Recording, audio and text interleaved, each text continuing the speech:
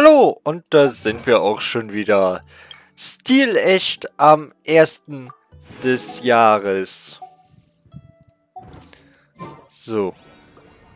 Eine Errungenschaft freigeschaltet. Ach ja.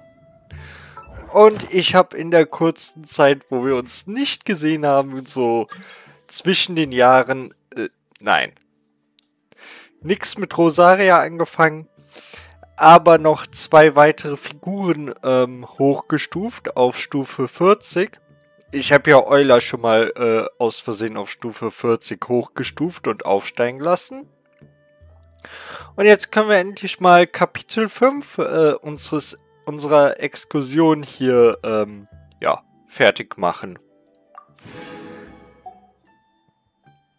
So. Und neues Kapitel, Kapitel 6. Und ihr... Ich wollte schon sagen, wir haben doch nicht alles. Och. Die Geohypostase einmal besiegen.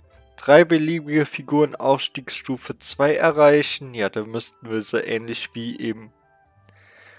Okay. Na, was haben wir denn hier? Drei beliebige, beliebige Sphären des Segens, äh, also für Artefakte bestehen. Haben wir gemacht. Den gewonnenen Abgrund. Ja. Die Elektro- und Anemo-Hypostase im Einzelspieler besiegen. Ist ja auch nicht viel. Drei beliebige Waffen Aufstiegsstufe 2 erreichen. Ja. Würde ich das nicht machen, könnte ich nicht auf dem äh, momentanen Level ähm, meiner der meisten meiner Leute rum, äh, rum erfolgreich. Äh, oh Gott. Lege einer beliebigen Figur ein Artefakt-Set mit mindestens drei Sternen an. Aktiviere den Set-Bonus für vier Teile. Ja, ähm, das ist auch halt gar nichts. Eine beliebige Waffe auf Stufe äh, 50 hoch pushen und aufsteigen lassen. Das ist ja. Kauf ein beliebiges Objekt beim Andenkenhändler. Allein schon, weil man äh, allein schon, weil man den äh, Anemo-Reisenden etwas verbessern möchte, sollte man das ja. Und schalte fünf Schreine der Tiefe frei, ist halt auch nix, ne? Ja. Was das angeht, können wir, kann ich es jetzt ja mal direkt zeigen. Und zwar, ich habe mir gedacht, ich äh, level zwei Charaktere auf, die ich eh eigentlich nicht nutze. Nämlich Beidou, Beidou und Xianling. Damit sich halt bei dem Rest äh, nichts wirklich ändert. Und wir könnten sie halt echt schon... Jo, wir könnten sie locker beide hochstufen. Ähm... Das wäre auch kein Problem. Lediglich die Geohypostase. Ähm... Da müssten wir dann hier hin. Können wir ja vielleicht nächste Folge machen, oder? Hm, muss ich mal sehen. Ich wollte jetzt erstmal den Auftrag von Soraya machen. Von der Gelehrten. Die Gujong-Mahnungen. Was für ein Hinweis verbirgt sich hier? Ich bin bereit. Gehen wir und finden den Schatz. Äh. Äh. Wieder so. Äh. Haha, du hast aber Ausdauer. Na gut, dann entziffern wir eben die Gujong-Mahnungen. Leere Weisheit, gebunden an Moral, mit starken Muskeln und vereint im Herzen. All dies fließt in der Guili-Stätte zusammen. Vom Text allein liest es sich wie eine Ermahnung für das tägliche Leben. Aber wo ist denn in diesem Satz nur der Hinweis auf den Schatz? Es hilft alles nichts, wir müssen den unbequemsten Weg gehen. Wir haben es ja so gewollt. Diese sieben Passagen, die wir zuvor gefunden hatten, befanden sich alle irgendwie in Ruinen. Wir wissen nicht so genau, wo wir anfangen sollen, daher wäre es wohl besser, wenn wir weiter in den Ruinen suchen. Wo sollen wir suchen? Ich soll... Das alles soll ich noch einmal komplett durchsuchen? Ich werde mich nach Livor begeben und alle dortigen Ruinen durchsuchen. Ja, bitte nicht. Das hier ist kein Gothic. Wobei, das Gute hier ist ja wenigstens, es gibt hier keine fallengespickten Tempel. Und dann noch einen fallengespickten Tempel. Und dann noch einen fallengespickten Tempel. Und dann... Hahaha, ihr erwartet jetzt einen fallengespickten Tempel, ne? nee, nee, dieser fallengespickte Tempel der ist in einem fallengespickten Tempel versteckt. Ja, ja, ist der große... Okay, wo sollen wir suchen? Gut, was das äh, Suchgebiet angeht, lass uns erstmal in der Guili-Ebene verweilen. Du musst verstehen, ein Gelehrter wie ich kann mit deinem Schritttempo doch gar nicht mithalten. Daher überlasse ich dir das Durchsuchen der Ruinen. Solltest du etwas finden, komm zurück zu mir und erzähl davon. Da wir gerade davon sprechen, ich habe in der Nähe eine Ruine entdeckt. Darin fand ich eine seltsame Scheibe mit Schriftzeichen darauf. Zu jener Zeit jedoch war ich mit anderen Studien beschäftigt und habe mich nicht intensiv damit beschäftigt. Rückwirkend betrachtet hatte die Scheibe aus dieser Ruine vielleicht etwas mit den Gujong-Mahnungen zu tun. Wenn das so ist, mache ich eine Markierung für dich auf der Karte und du kannst dich dort einmal umsehen, ob du etwas findest.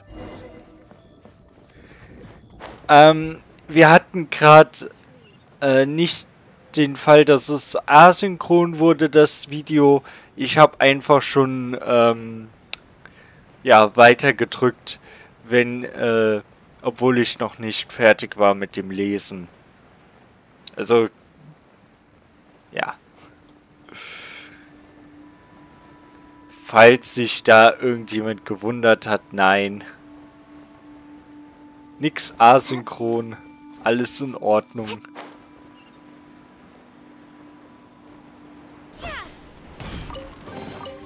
I'll keep this close. Ja.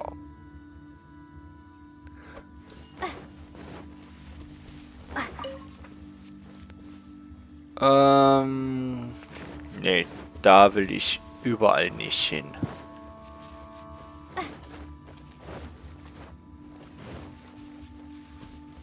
Das hier sah irgendwie komisch interessant aus, aber hier ist nix.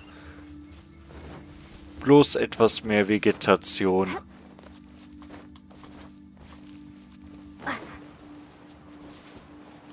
Hm.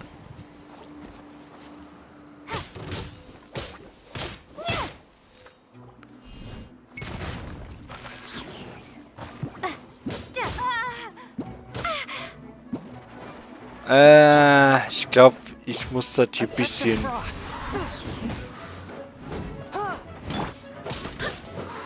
Na komm.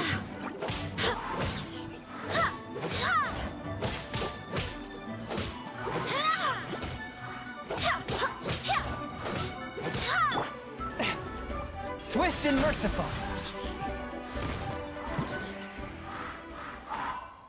Ja. Mit Zusammenarbeit ist unbeirrbar, komme was wolle. Okay.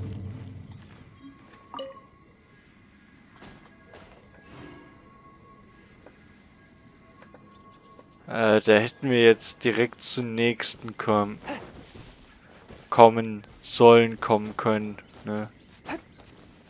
Äh...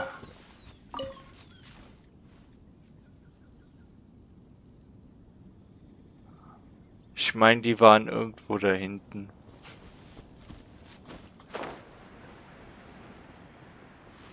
Aber jetzt die eine Silie. Ach, das dürfte die da hinten sein. Ah.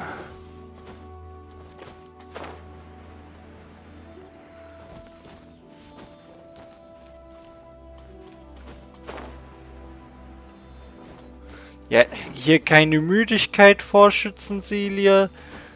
Wir haben viel zu tun. Aber ich kann schon mal sagen, ja, das mit dem Plan, das nächste Mal die Geohypostase äh, zu machen. Nö, das kann ich mir abschminken.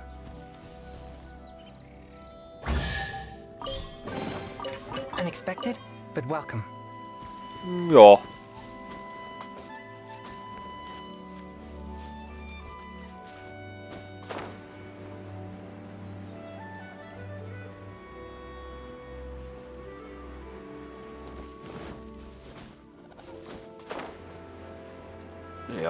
Ich glaube nämlich, ich werde hier etwas zu lange brauchen.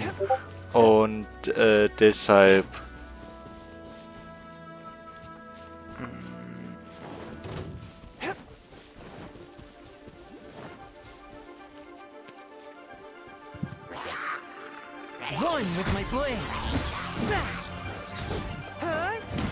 Ja.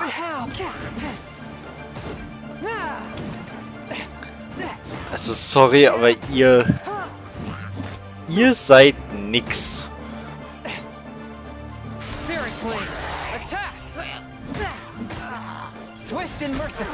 Und wenn ihr euch gerade fragt, warum ich äh, wirklich für drei solch schwacher Gegner ein Special nutze, ja, ganz einfach, ich wollte es nicht so lange haben. Ich wollte damit äh, möglichst schnell fertig werden.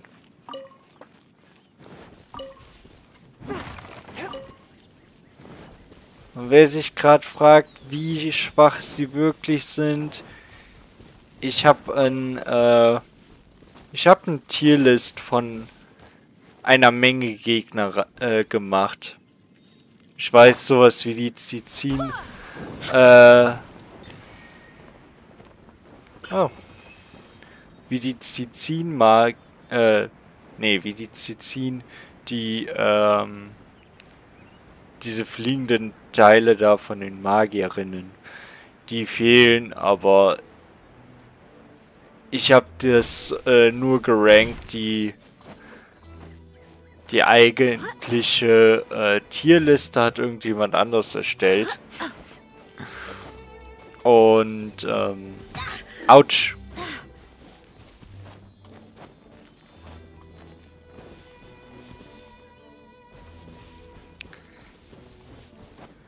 Und eben nicht ich.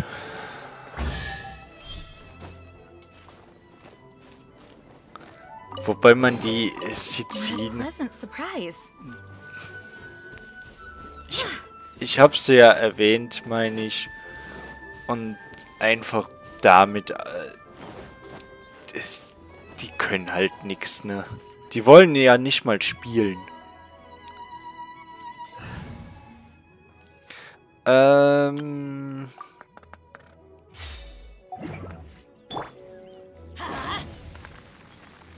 Böp.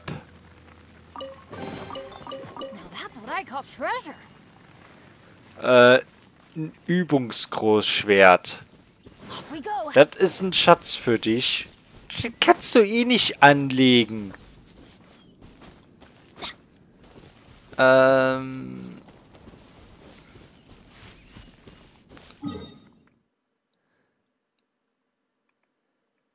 Ehrlich gesagt bin ich gerade ein bisschen...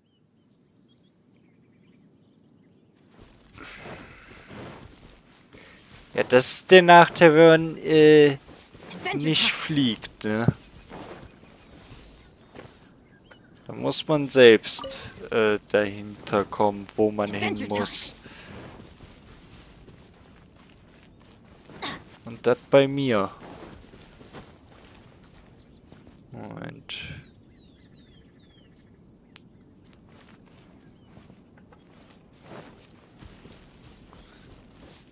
Oh je, oh je, oh je. Ah, machen wir ein andermal. Off we go.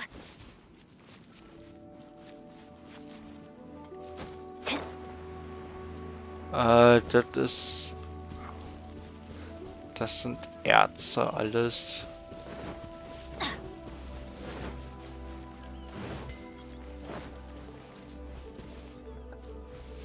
Vielleicht da oben dann?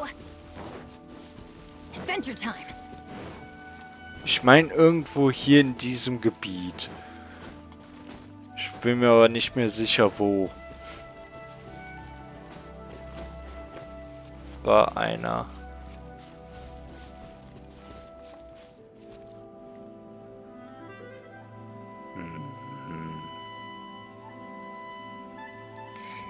Ja, das ist dann so immer einer dieser Punkte, wo es immer ganz besonders viel Spaß macht, einen Let's Player zuzuschauen, ne? Hm. Da hinten ist, glaube ich, einer. Also, da hinten auf der Insel. Aber Benny's Adventure Team, assemble! Ja, ja, ist ja gut.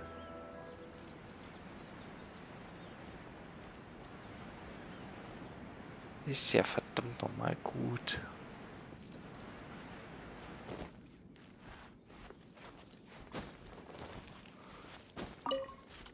So. Also wo halt auf jeden Fall einer ist, das ist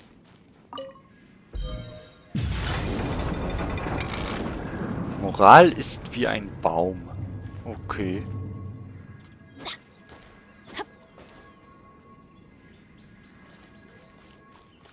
Das normalerweise die letzte gewesen von den Vieren?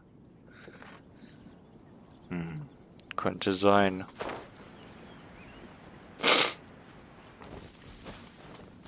Ach, dann... Ja gut, dann äh, gehen wir...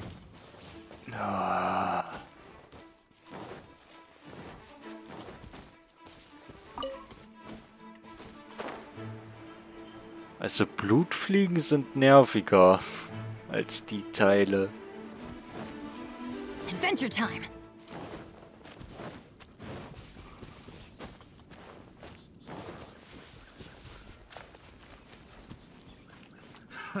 Another test subject. Nö, nö, nö, nö, nö, nö, nö. Ich wollte mich doch eigentlich an den vorbeischleichen. Die sollten mich ignorieren, nicht äh, jetzt so einen Blödsinn machen. So, äh... Off we go! Nee. Das war diese... Hier war doch auch so ein, äh... So ein Bodendingens. Ach, wo war das denn?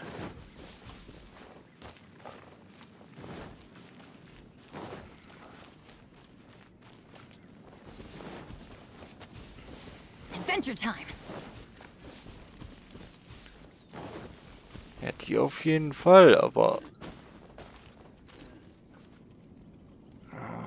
Wo war das noch?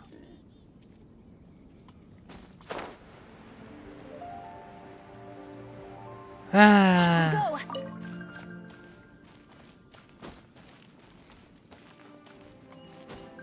da.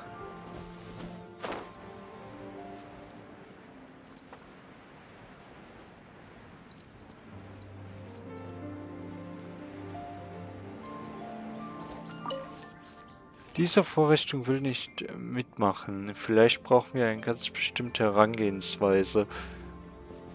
Ah.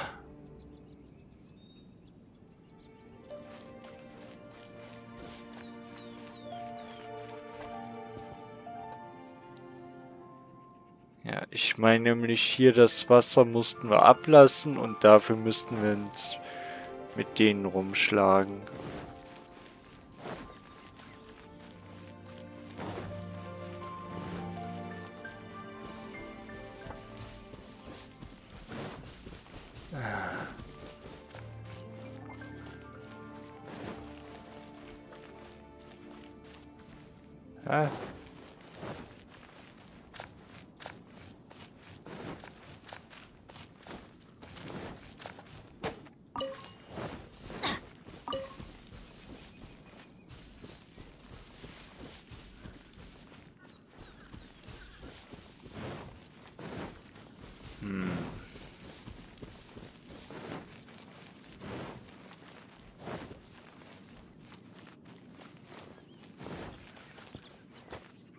Ging das denn noch?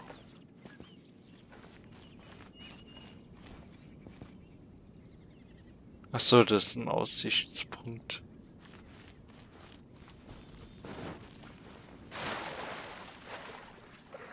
Und ja, da ist ein Baum. Oder ein Gebüsch. Schönes Gebüsch!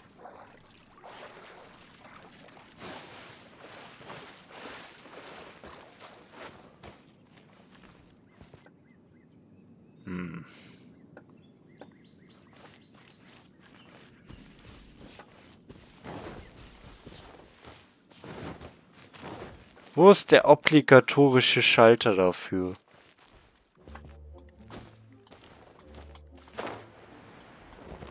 Adventure time.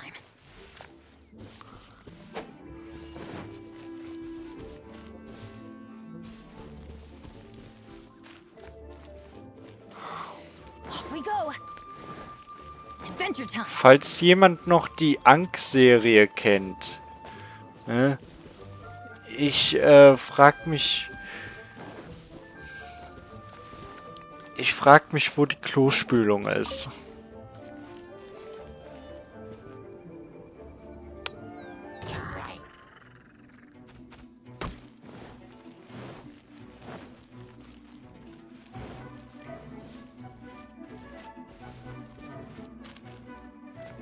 Öh.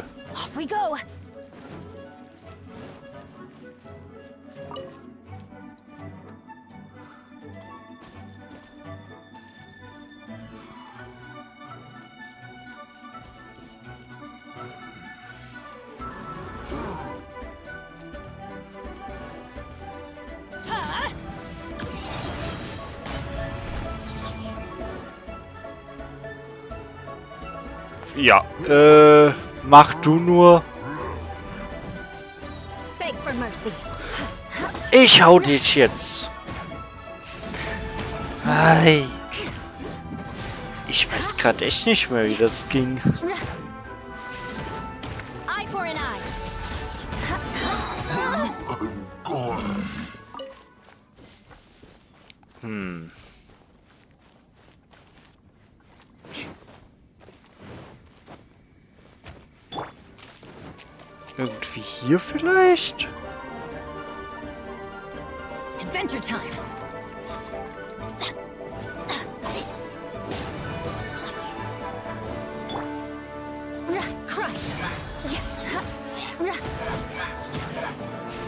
For mercy.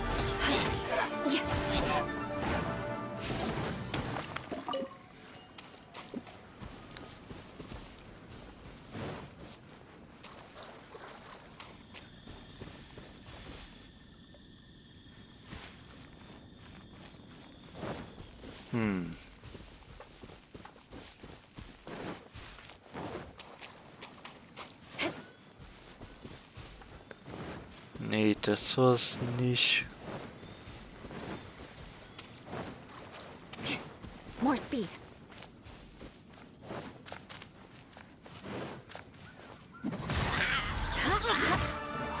Na, das nervt jetzt grad.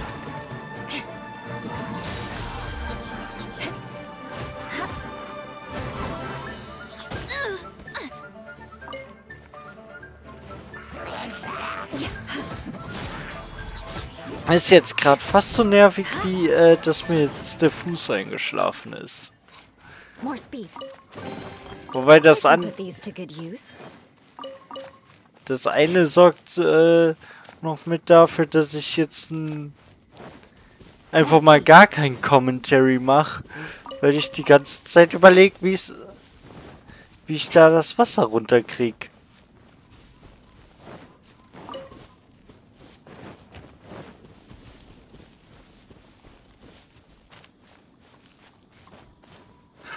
Ah,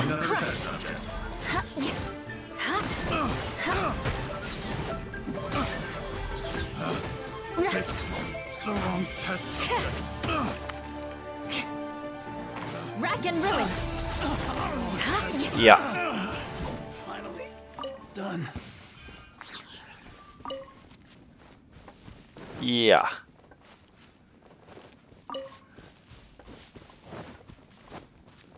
More speed. Weisheit ist wie Wasser. Es nährt das Leben und ist der Spiegel zur Selbstreflexion, okay. Jetzt fehlt noch einer, was wohl dahinter steckt. Tja. Müsste halt die sein. Aber...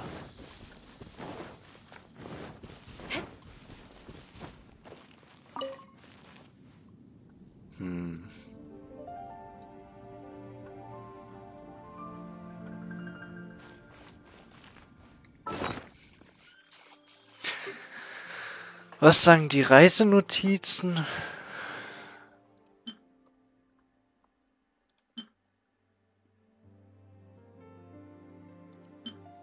Ja, Weisheit ist hier.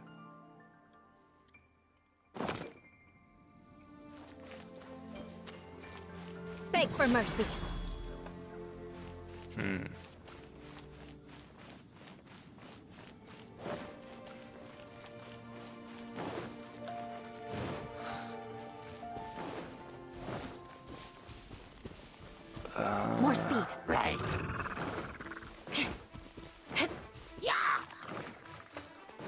Es irgendwie mit diesen Steinplatten verbunden? Die haben wir aber doch schon, oder? Ja.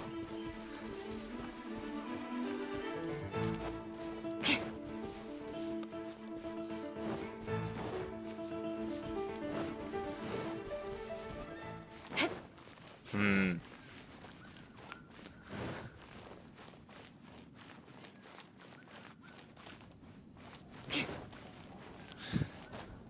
More speed.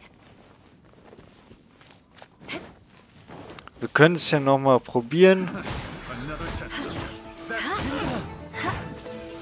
Shudder.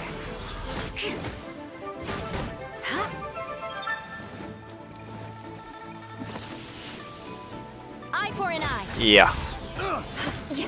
Ähm, I got careless. Picked the wrong test subject.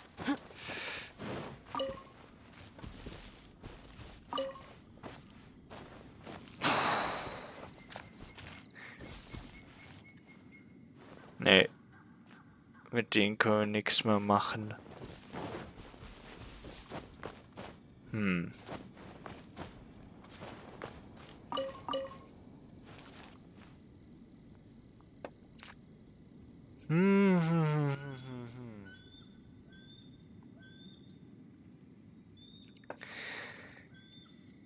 Ach, wie war das dann noch? Wisst ihr was? Ich glaube, ich bin jetzt äh, einfach mal zu frech und würde mich dann hier verabschieden, weil na, der kann's nie sein.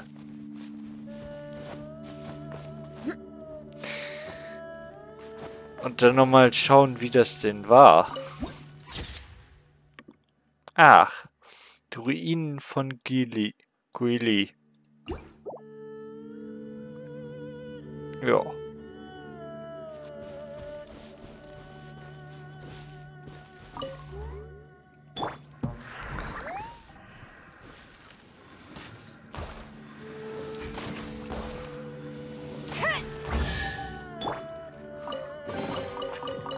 What do we have here?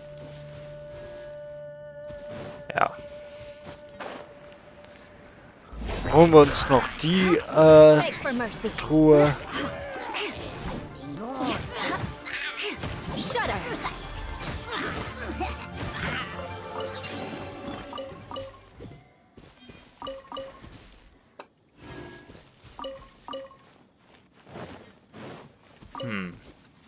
Speed. Oh, zwei Geosiegel.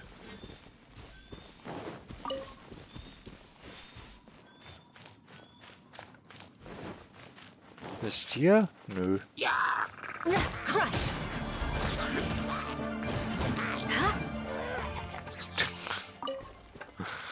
Ey, das ist...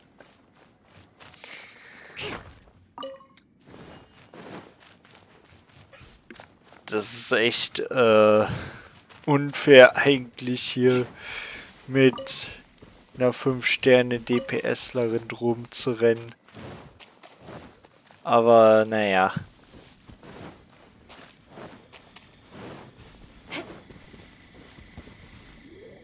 Oh,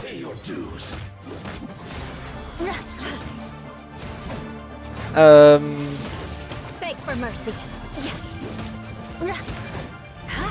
also sorry, du Qianling für Arme.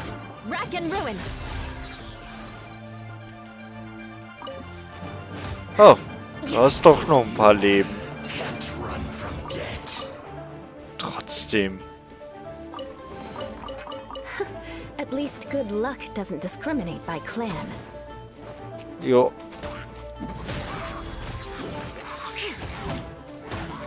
Wäre auch doof, wenn.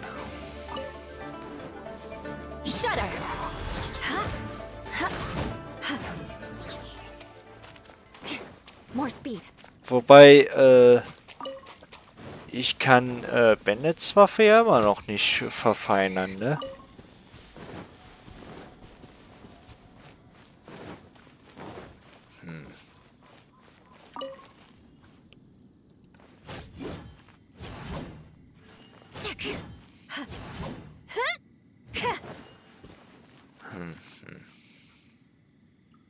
Ja, ich guck nach und bis dahin, Gruß, Zynas Fan.